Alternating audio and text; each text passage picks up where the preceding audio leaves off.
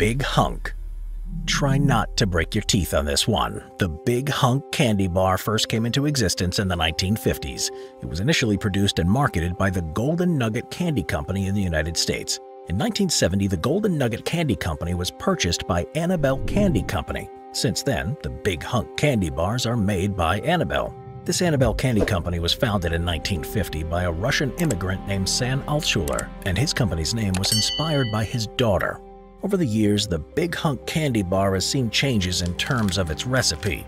Manufacturers included fruits in the ingredient mix to experiment with the flavor, but due to extended production timing, they discounted that idea.